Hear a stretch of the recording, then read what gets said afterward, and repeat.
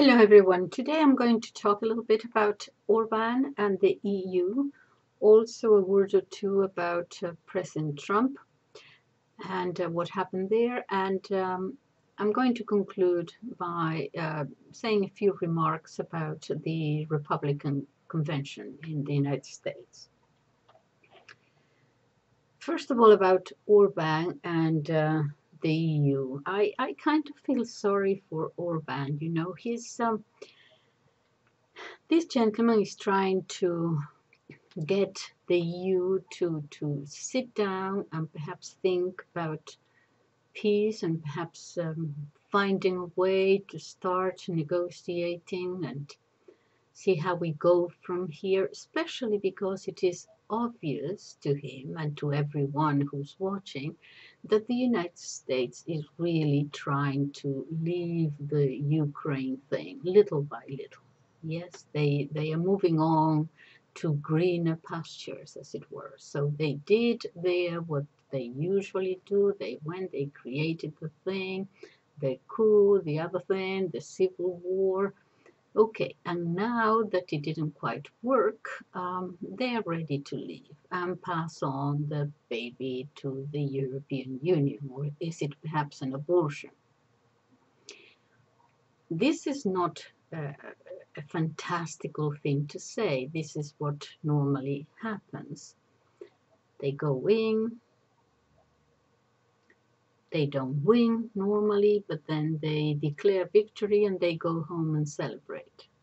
But we can actually see that, for example, J.D. Vance, who might very well become the next vice president of the United States, has spoken about it very clearly, has written an article in which he actually says to Europe, you know, it's up to you now. He uses the word um, uh, to stop being a client state. That is, those are his words. To actually, you know, take care of yourselves. He's actually telling them. And at this moment, when you can see that the United States is slowly but surely moving on to something else, this is when such an intellectual uh, genius as uh, Kaja Kallas, for example, of Estonia, uh, says, well, if uh, Putin wants the war, he shall have it. okay. So, I said I feel sorry for uh, Orban because at the time when he's trying to organize a meeting in Hungary so that the foreign ministers go on hold this meeting, these women are trying to undermine him by organizing other meetings so that they don't go. This is fighting like, it's not even like children. This is so petty. Lesser minds. Petty and ridiculous. And everyone can see it their desire also for recognition is clearly outweighs their capacity and their abilities. And so poor Orban must come out of those meetings with this silly woman, feeling as if he has been in a hen house, a chicken coop, you know, being pecked at. he must come out of that meeting thinking, gee, has been packed all over the place. Which is not as bad as what they do with Putin, because with with Putin, this is this is packing, you know, but with Putin is is sheer loathing that they have for him. Is that you know that woman scorn that Shakespeare talked about? And you say to a woman, look, stop bothering me. I don't find you attractive at all. Stop calling me, not interested. Please leave me alone. Oh boy, that's no longer back. They go for your eyes. They want to scratch. Yeah, that is what they're doing. Ah, dear, oh dear. that uh, Abelina, um, never, Baerbock, whatever the German girl, who went to China and had the audacity to tell them what they must and must not do. Where does she get that audacity from? And the, uh, you know, what Xi got was a sort of a cold grin from she. and Xi Jinping. Um, th- this is my point. Look, during the Iraq war, you still had some sort of independent leaders in Europe. For example, Bush and Blair uh, wanted to go, but there were other leaders in Europe that decided that they would not go along with that. They considered it illegal. Schroeder in Germany and Chirac in France and Putin in Russia decided not to go along with that. Yeah.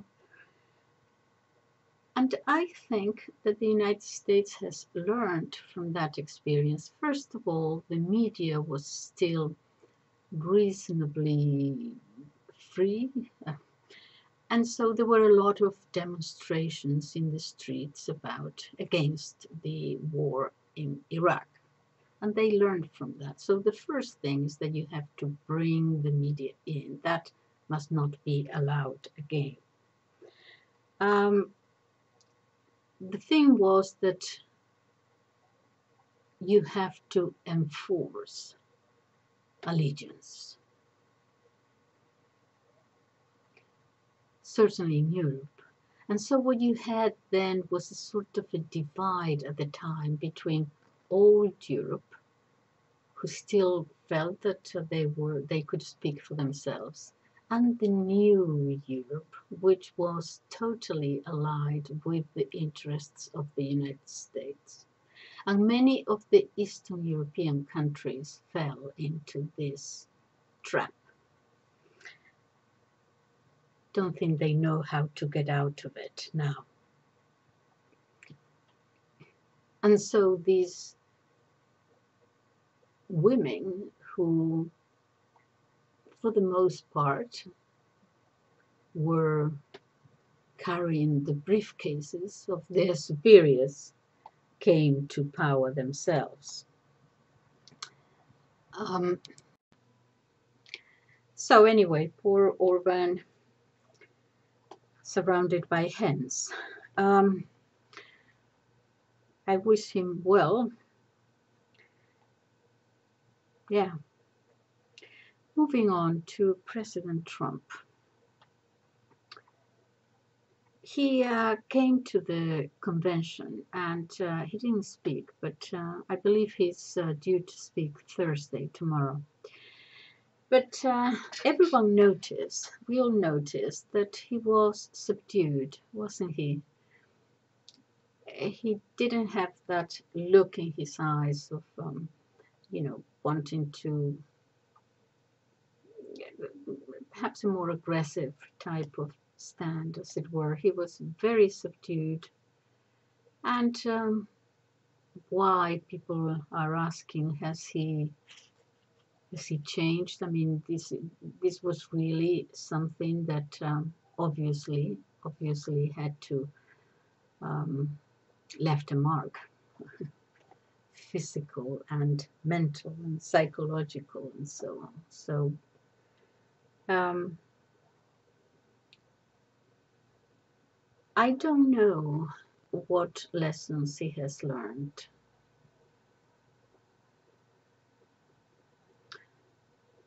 it could be that he was subdued because of you know what had happened obviously but also that when that happens and you come so close to death a lot of people who have who experience something like that begin to appreciate life more. And they always tell us that you know when something terrible happened to them like that um, that they look at life in a different way. he said he was going to change his speech, uh, which uh, he had been working for a while together with his son, I believe. And he was going to change it, and perhaps uh, uh people are saying that perhaps it will not be as aggressive as it was going to be, not because of fear, just because of a certain, perhaps wiser realization that uh, things have got to a point where America has in some way have to come together in some way. In other words, he might be, his being so subdued might be also to the fact that hopefully he feels, okay, um, what can I do now? I mean, we have reached such a point that I don't know where we're going to get from here. So perhaps try to unite the country in some sort of way. That could be too. Um, I will be very interested uh, in, in hearing him speak because that's going to tell us if things are going to change and to what degree they're going to change. Um,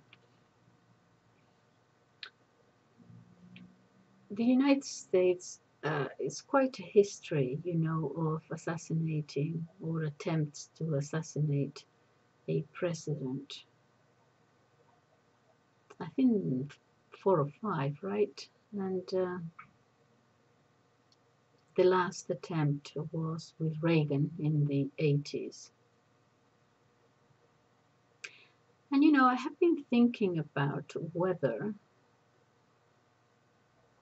Nixon's uh, Watergate and uh, his resignation and so on was not also a little bit of a coup. I know about uh, Watergate, I lived through it, wasn't paying too much attention to the details of the time, so, but um, it just seems now looking back that the fact that some Republican oper operatives um, burgled the Democratic Party headquarters and it all ended like that. It seems a little bit strange. I'm just thinking whether that could have been also a, a sort of what we now say a false flag kind of thing. I might be totally wrong on this. But I I, I actually think about that because you see what has changed from what we knew at the time is that Bernstein, one of the reporters, you know, you know the movie All the President's Men all that, and they were independent. No, Bernstein was a CIA agent. It is known now. Yeah, he had been in the is it CIA or FBI, whatever, okay? And then from there, he went to the Washington Post. And he was the one who was being told and he was investigating and so on.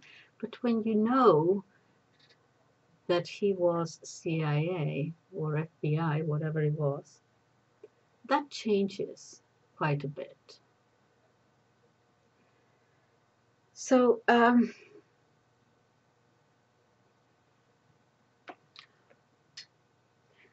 Civil War. The Civil War.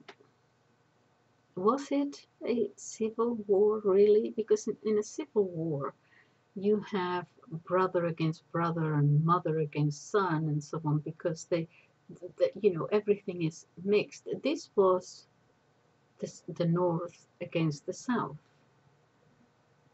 it was not really a civil war as we define civil war. The South thinking that they had the, uh, the right to secede from the Union, which in fact, if you looked at the Constitution, they did, in fact. The, uh, the, um, the states, the, the Union was a voluntary thing and the states had much more power at the time. and the country changed because of that, and uh, the rest of the world changed too. Um,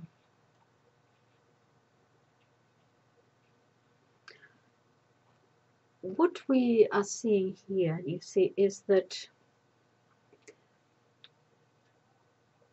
the United States is at a crossroads in a civilization context. Democracy works fairly well when things are easy, but when a major thing happens in chaos and, and uh, disasters and so on, it's um, a lot of people are willing to throw away the cards or cheated cards. Is when things get complicated, uh, where you can see how they are handled, whether you are in really in a democracy or not. Um, the yes, it's a, it's a, it's a civilized a civilizational uh, change that is uh, going on at the moment because they the the masters uh, the global um, cabal are in a state of panic as we said so many times in a state of panic because they have lost the emerging world, developing world as we used to call it. And they are in a state of panic because they might, they might lose the West too. And that cannot happen. This victory of Russia, for example, is unacceptable to them. And so they are fearful of what might happen what Russia did to the oligarchs, could that start happening to them? Not to them, the ones who, who pulled the strings, but the obvious ones, the politicians and so on. This is not far fetched because even Hillary Clinton, I believe, uh, it was uh, Hillary Clinton who said, if things continue the way they're going, we could all, we, they, we could all end up hanging by streetlights. You see, if you let the West start expressing, the people start expressing themselves freely, things could get out of hand for them. Russia did it with its oligarchs. Could that happen here too? and for most of us, not the ones at the top, they'll be okay because they'll just retreat for a while. But the obviously, the ones that we can see, their minions, what will happen to them. Um,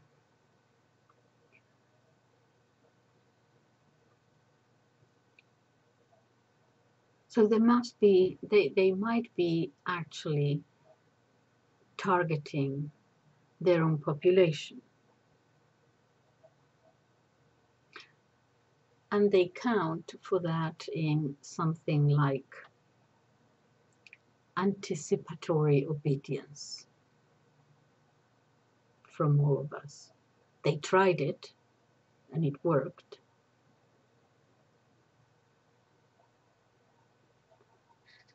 Yeah.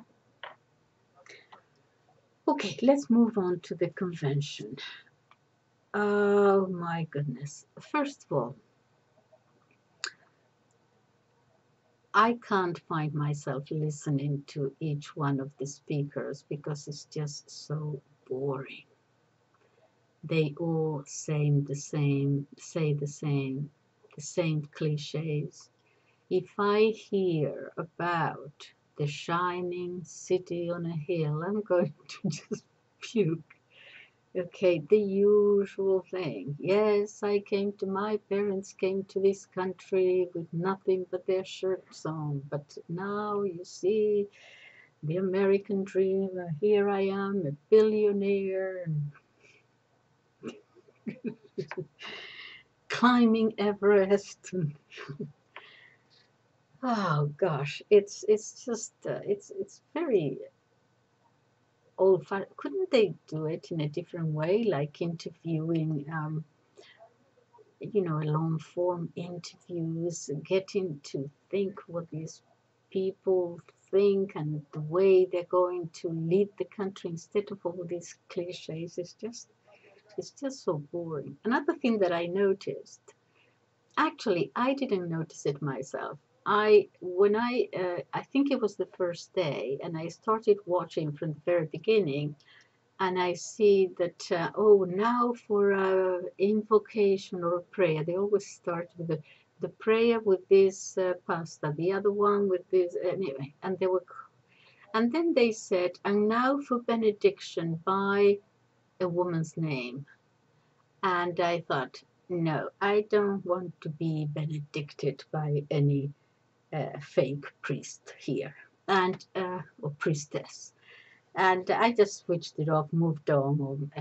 forward, and so on. Well, later I learned from uh, Dr. Taylor Marshall that it was actually a prayer to some, says, pagan god.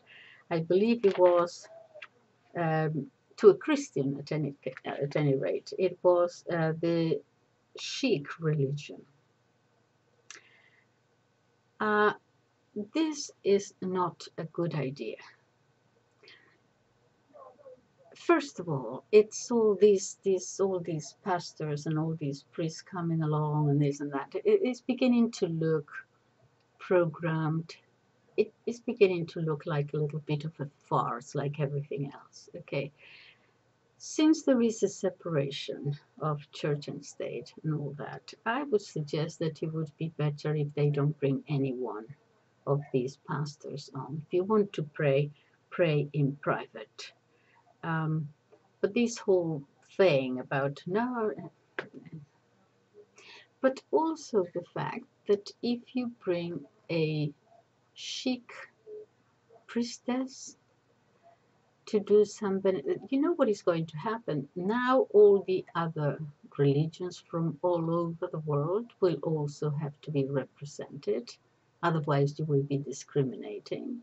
And when you get to that point, then you can also bring the Church of Satan and the Church of this or any other religion. Oh, but this is my religion.